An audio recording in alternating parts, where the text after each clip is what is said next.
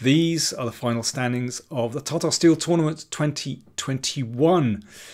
So you can see three players on eight points Firouzja, Caruana, and Yesipenko. Yesipenko, only 18 years old, had a fantastic tournament. He won in the last round against Donchenko. And then in first place, we had Jorden van Foreest against Anish Giri. If you want to know how the players all landed on those positions, then do check out my other video, um, Van Foreest against Grandelius. But I'd like to look at a game from the playoff between Van Foreest and Giri. And this was the first Blitz game. So they were scheduled to play two Blitz games, five minutes each and three seconds each time they made a move. And in this first game, it was pretty clear that well, Van Foreest was in the swing of things. He was moving much more fluently than Giri. He was ahead on the clock. And although Giri actually has negotiated the opening very well, time was always an issue in this in this game. Nevertheless, let's have a look at what happens because there are some beautiful, beautiful tactics I'd like to show you. So here, well, it's clear that the opening has gone very well for Giri. He has black. You can see his. It's about pawn structure basically. His pawn structure is looking really good, whereas white's here. Well, those really ugly split pawns on the queen side. The one good piece that uh, Van Foreest has is that bishop on a2, which, well, you could hope that perhaps there's some kind of attack later on on f7. But this is a struggle. This is a lot of fun for black to play in a blitz game because you have no weaknesses in your position basically. And here Giri played very directly. He played an excellent move, rook g5.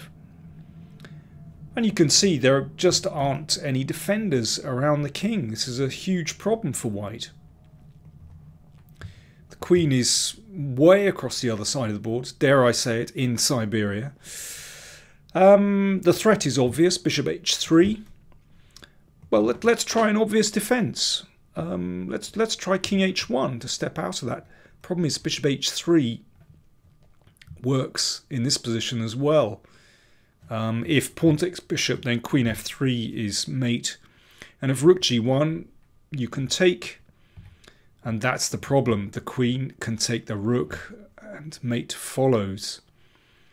So king h1 is unsatisfactory and white is struggling here. Let me show you another defense. That again, I'm showing you, I'm going to detail in this position because there are some beautiful tactics. So let's try g3.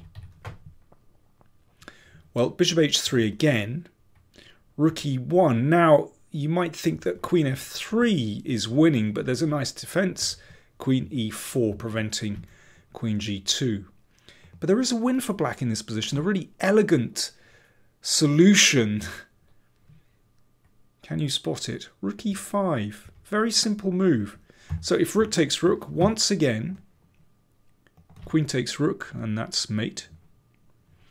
So black's threat is to take the rook on e1, and if the rook steps aside, then queen f3 is winning, because white no longer has the defense of queen e4 and it's going to be mate.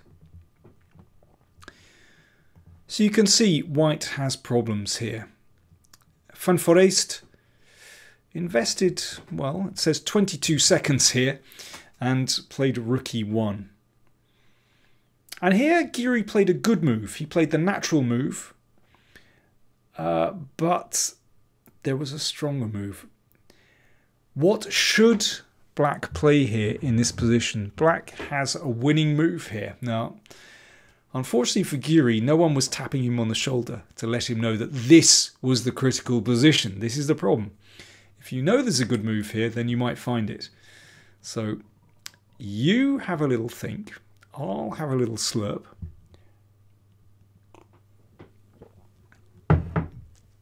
Giri played bishop h3. It's a good move. But the best move is rook g4. And this just pushes the queen to a very unfortunate square. Well, if the queen's in Siberia on a4, then when it moves to a7, well, it's, basically yeah gone gone um, beyond Siberia into the Arctic Circle, and it's just nowhere now. Um, here, black wins with this one. Check and queen f3, and well, the queen unfortunately here can't swing across to the king side, so it's going to be mate shortly. Now, white does have a better defence, and that is f4, but you can still still see that the queen is, is unfortunately placed, and here, well, the king position has opened up. Queen f3. Just to repeat, this did not happen, but I find it very, very instructive position. So here, you can break through with rook takes. So black's a rook down, but the king doesn't have any cover. If king f1, then you can drive the king out into the open, and this is actually winning for black. Um, queen takes and so on. So the king has to go in the corner. So what's next? Well, we move the bishop in, threatening check. Now, white does have a desperate defense here, and that's bishop takes. Um, if rook takes, then that's a nice counter attack, and if king takes, then you can exchange queens, and that saves white. Um, so after bishop takes, the king goes in the corner.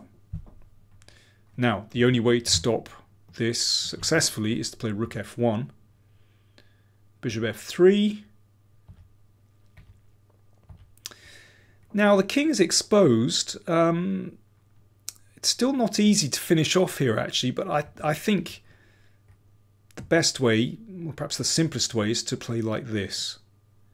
Queen f5. It's a, there's a very cute idea here. Of course, this this is computer analysis. I, am certainly not expecting that anyone would spot this in, in a blitz game, let alone, well, it, perhaps not even in a classical game.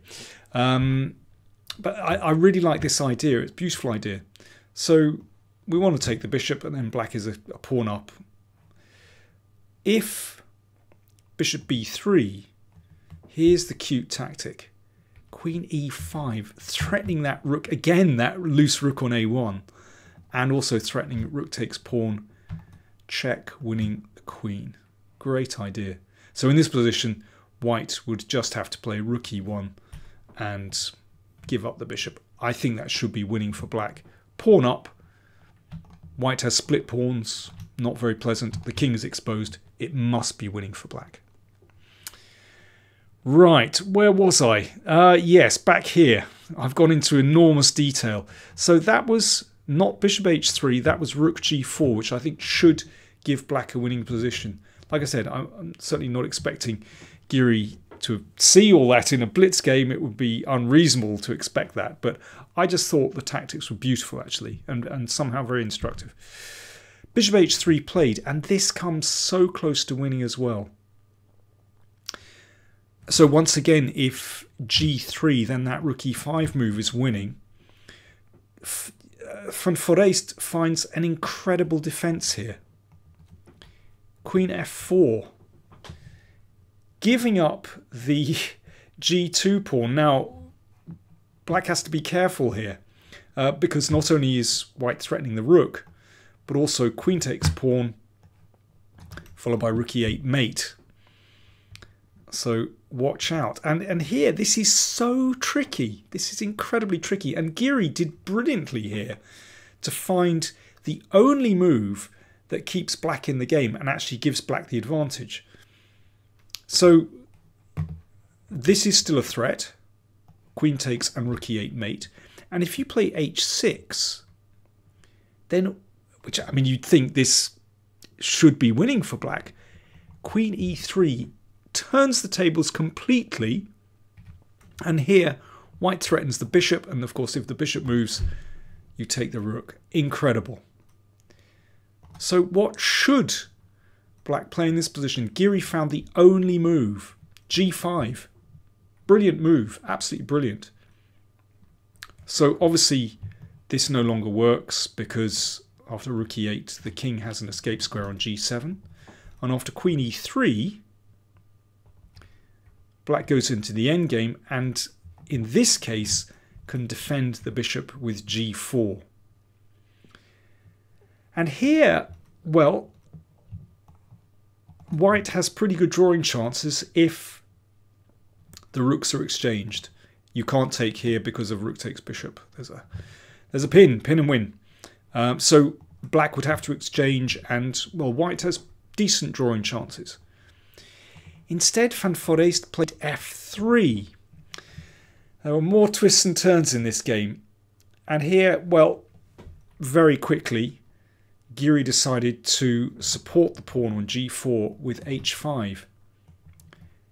He could have played instead g3. It's a beautiful move. Obviously threatening to take here. And if pawn takes pawn, here's the idea. Rook d8. Black has control over the second rank, and once the rook comes to d2, then it forces mate. So if rook, for example, rook g1, now because there's a pawn on g3, there's no pin. This is incredible. So rook f2, threat, rook d2, and mate. And if rook d3, you can just sidestep and the rook comes down. And mate in a few moves. Beautiful, absolutely beautiful. But h5 played and Van Foreest seized his chance. Rook g1, excellent move. Forcing an exchange of rooks because the bishop is hanging. And here, basically, well, it comes back to the pressure on f7. Finally, that bishop on b3 comes good. And there's enough pressure here. And white can make a draw. And, well, after these moves, I mean, Giri is trying very hard. Um, trying to keep hold of that extra pawn, but it's no good there really was no way out of this. And well, after these, everything was liquidated in this position. They ended up with king against king. So the first blitz game was blitz game was drawn. The second blitz game, Giri had some advantage, but it was very slim and he couldn't make anything of it. That was also a draw. So they went into an Armageddon. Now, I have to say, I think for such a prestigious tournament, I think to decide a winner on an Armageddon game, is very unfortunate. And I think you organisers could do better. You might moan about blitz games, but well, I think there is certainly more content to them. So they, I think they could have played another couple of blitz games, and you know, eventually they're going to find a winner. Um, the Armageddon game was just chaotic. Blunders all over the place. First, Giri had a great position, then it swung round. Van Foreest was winning. And, well, Giri was in a must win situation playing white, and eventually, well, his time ran out. He made a blunder, and, well, Giri actually resigned before he lost on time um, with Van Foreest in a winning position. But, I mean, this is all kind of academic, really. It was madness, it really was. Anyway, at the end of it, Jorden van Foreest was declared the winner of Tata Steel 2021. And uh, I certainly don't begrudge him that. I mean, you know, he thoroughly deserved. Incredible result for the 21 year old. He comes from a chess playing dynasty, not even a chess playing family. Um, he's, yeah, he, he's he has a brother, Lucas, who's uh, a grandmaster as well. I think his father is a decent player. He has a sister who's also uh, a very strong player. But actually, when I say dynasty, his great great grandfather was a three time Dutch champion, as was his great great uncle, another uh, three time Dutch champion. So it really is a dynasty. And, well, he has a great future ahead of him. Um, so, yeah, I'm very pleased for him, actually. As for Anish, well, he tied first. He won't be too unhappy with the result, and I'm sure that will give him confidence going into the candidates tournament, which has been announced for uh, well, I believe the end of April. Thanks very much for watching. I've really loved the Tata Steel tournament. I think it's a great event. If the organisers just tweak the um, tiebreak situation at the end, then I think it'll be an even better tournament. For me, it's it's my favourite tournament of the year because they always invite an interesting field, and I think it certainly paid off this year with the winner, 21 year old, and uh, Yesipenko, an 18 year old who's also done very well indeed. Magnus Carlsen, well, he lost, he won his final game. But he called his performance shameful. Maybe he should play a little bit more classical chess instead of uh, online blitz, but there you go. Thanks for watching.